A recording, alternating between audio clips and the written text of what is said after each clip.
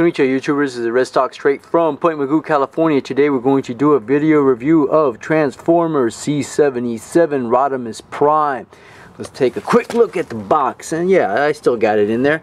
Uh, I'm not going to rip it open. He's not, he's MIB. There he is, Rodimus Prime, doesn't have his little cab. Uh, I'm going to tell you right now, the cab's the best part of this thing. Look at this. yeah, I don't even know what kind, what to say about that yeah, I'll tell you what, the cab's the best part of that. Uh, there he is. He looks great in his cab, I'm not going to lie to you.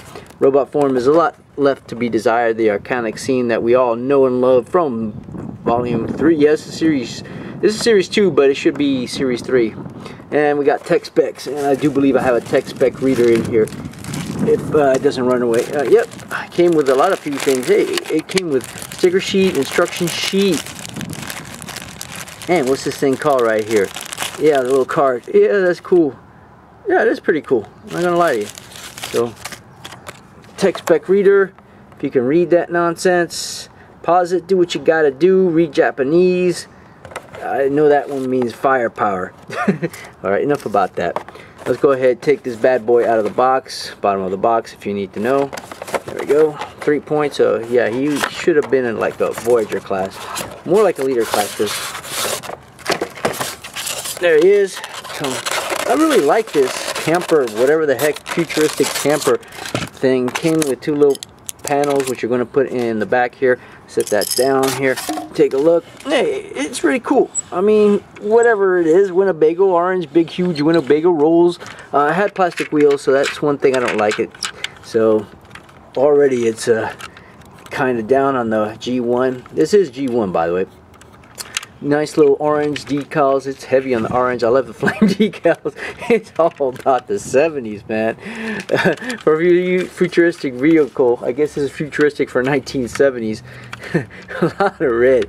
Okay okay. Eh, let me just go ahead and show you what I don't like about this. Uh, yeah I, I don't have it clipped on but yeah it, it looks good. Uh, I like the Almo I'm gonna give it 8 out of 10 if it had rubber wheels, it would have been better. But yeah, it looks good. It looks good. Translucent windows over here.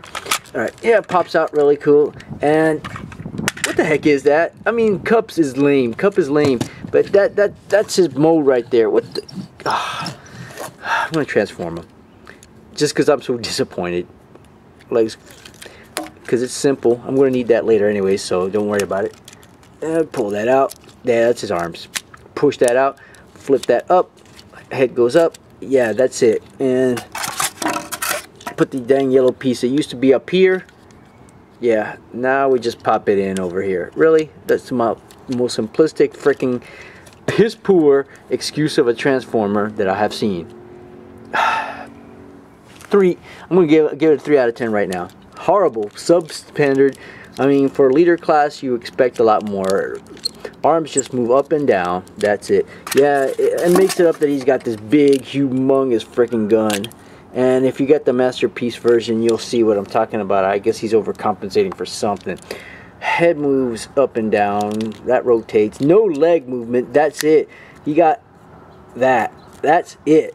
Yeah this is a faux joint. I reckon I don't know if it moves. I mean there's a joint there but I'm afraid I'll break it yeah, I'm signing a lot. Here he is for size comparison. So he's in between Deluxe class and Voyager class. So you can kind of tell right here. So in between that, forgot, he's about six and a half inches, so he's fairly tall. There's your size comparison. I already gave you the three and a half out of ten. But let's go ahead and show you the highlight of this. Why what the redeeming factor over here. Yeah, I know he's no Optimus Prime. This trailer isn't as big as his, but this is what's going to redeem him. His freaking trailer. I really do not know. I do not know why they have these little panels. Uh, what, seriously, what is the sense of this? Why do we need these? Seriously. Uh, I, I don't even know if they go in. If I'm putting them correctly. They go in here somewhere. For lack of a better, I, I don't know there we go. Yeah, I mean, that right there redeems him. Not enough to give him give him another point. Four out of ten. Gosh, he's freaking horrible. But yeah, yeah, he stands up in here and can aim at it.